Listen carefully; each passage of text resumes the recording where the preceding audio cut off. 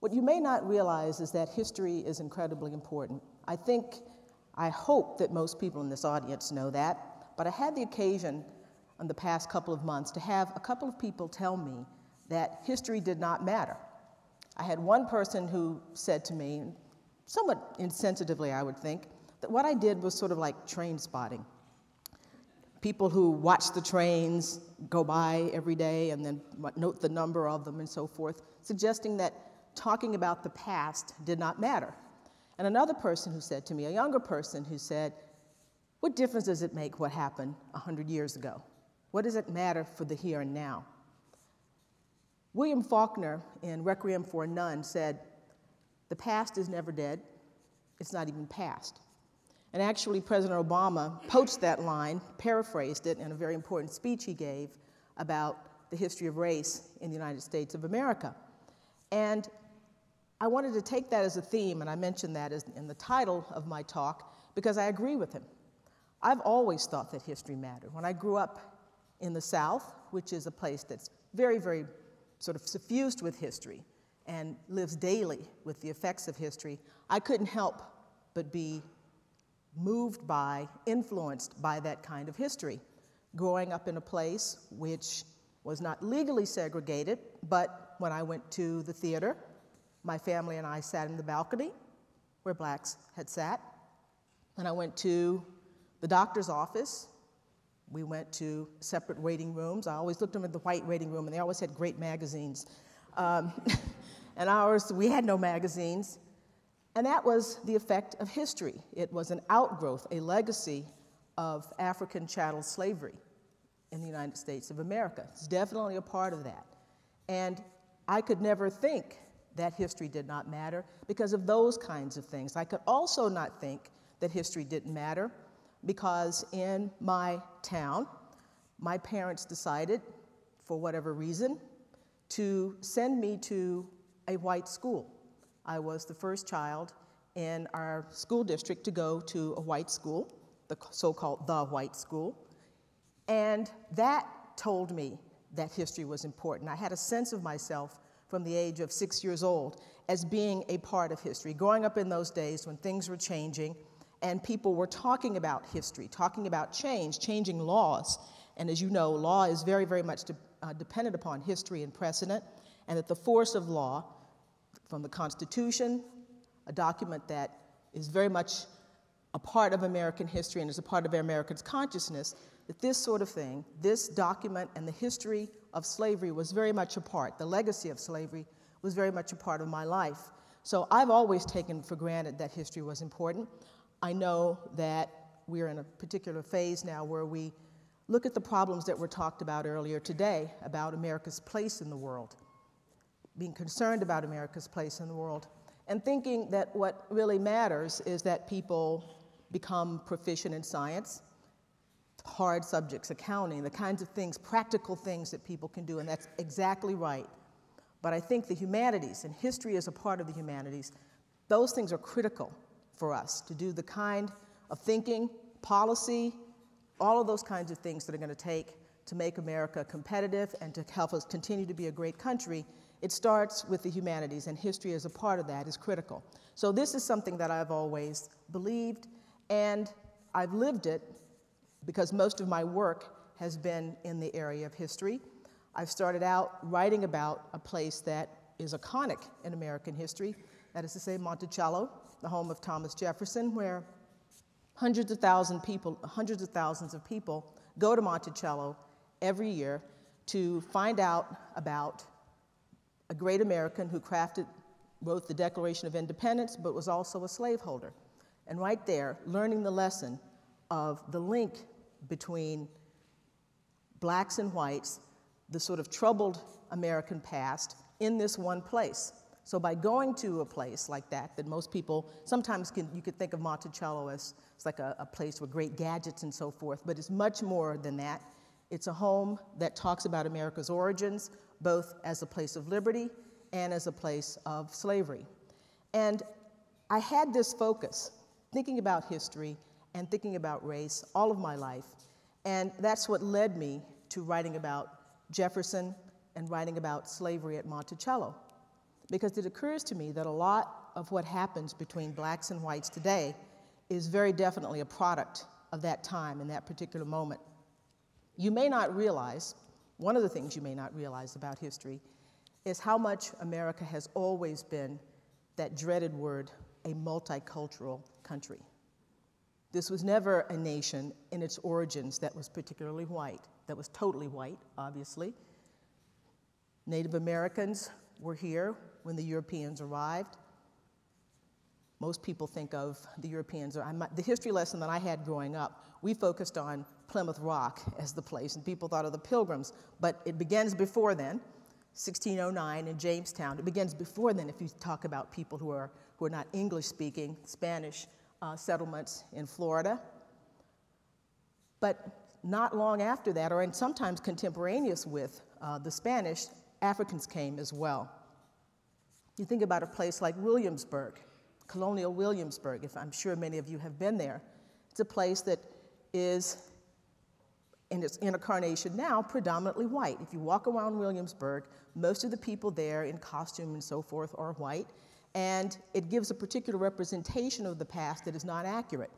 In the time period that I write about, the family that I write about, the matriarch of the family, Elizabeth Hemings, was born in the 1730s in Williamsburg, in the Williamsburg area. And at that time, half the population was African and half white.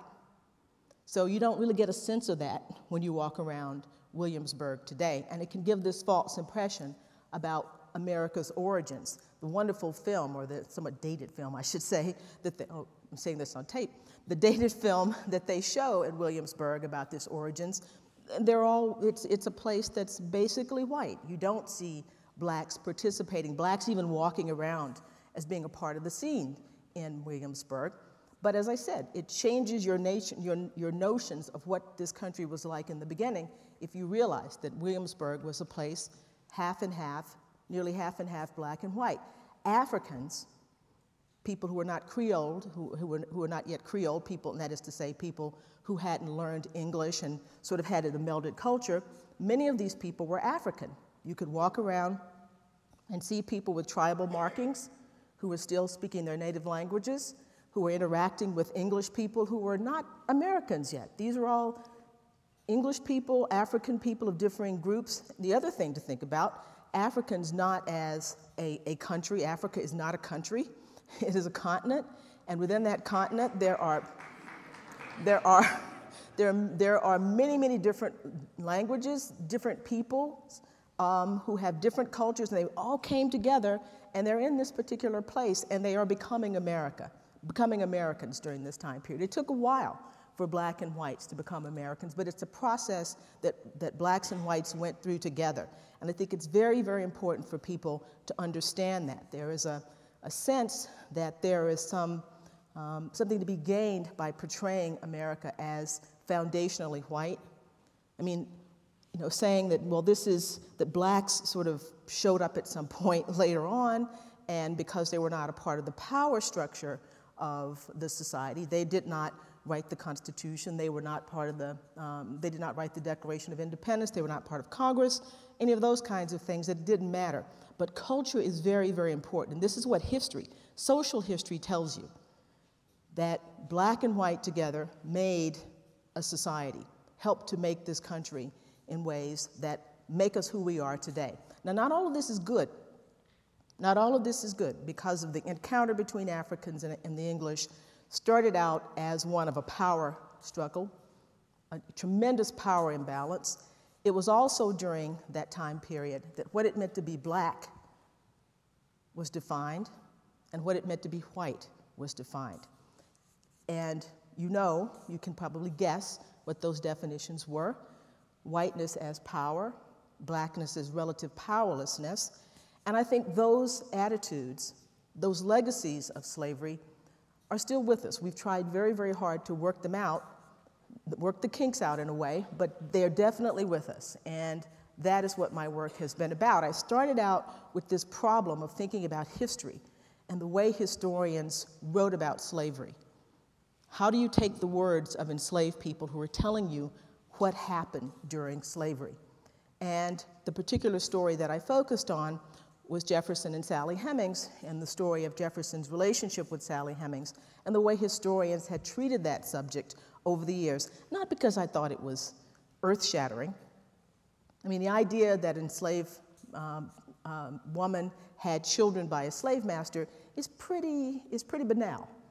In the South where I grew up, I grew up in Texas, and now some people don't think that's the South, but, but Texas is the South, particularly East Texas. Any place where they have plantations uh, and cotton is the South. Um, and growing up in that area, going to family reunions, seeing people around, the reality of mixed race, mixed race nature of the African American community was always present to me present for me and other blacks, probably in a way that it wasn't for whites. So it never struck me as a terribly important thing. But what was important was how the words of African Americans were treated in history. And what I wanted to do was to try to expose the double standard, I thought, where the words of blacks, the people who were the objects of slavery, were not taken seriously, and the words of whites were taken as the, as the final word on things. So it was really about using history as a way to talk about, to, to expose this, to ask the question does this still happen today? Is this a part of our understanding of the way we interact um, uh, with one another as blacks and whites? And I do think that that legacy of slavery was something that I saw in historical writing, and it was something that I wanted to bring to the fore and to have people discuss. Not did Tom and Sally you know, what was their real nature of their relationship, but how did we talk about it? And I think that that was very, very important. When I was working on that, it also occurred to me that one of the reasons that people could dismiss the words of enslaved people was that we didn't know anything about the Hemingses as individuals. That people think of slavery, and most people think of cotton fields, right? Um, antebellum period, gone with the wind, uh, a sort of dialect a way of speaking, a way of carrying themselves that was monolithic, and not seeing enslaved people as individuals. And there I also thought that that was something that continues today as well. Black people, from my perspective, if you look at popular culture, movies, television, there are two or three types of black people. And you know what the black person, my son said to me one time, he said, You always know what the black character is gonna do. You know what the black character is going to say. There's the sassy black friend, sassy black female friend, girl, you know you don't need to be doing that. She's the friend of Julia Roberts or someone. And you have the black guy who is, you know, maybe selfless in some ways, who's too brave. I mean, because he's always a computer specialist a lot. You, there, there's, there are these things that the person is going to do, these sort of tropes that, that are there that, that were sort of, that black people are symbolic, not individuals. And what I've tried to do with history, and what I think history is exciting about history, done the right way, is to bring individuals alive, to talk about the Hemingses as individuals, not um, a slave girl, not a slave man or enslaved woman, but as people. Sally Hemings, um, Betty Hemings, her brother James, all the kinds of things that talk to them and talk about them in, with ways and all the types of things that you expect and sort of assume that are part of individuality. And so I thought from that history was a vehicle for doing that, knowing how important it is, knowing how, just as we are the sum total of all of our experiences, this society is a sum total of all the things that we've done and that have happened in the past, all of the things that have influenced us.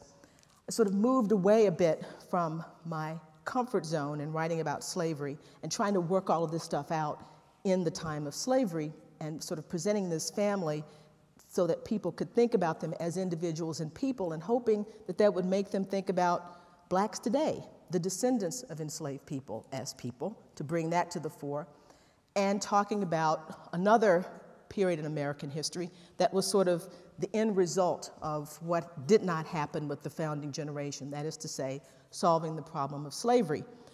In writing about the period of Reconstruction, I've been writing about that recently and forced to think about this um, because this too is, in some ways, I think, even much closer to where we are today uh, in, in sort of as a society and the kinds of things that we're grappling with.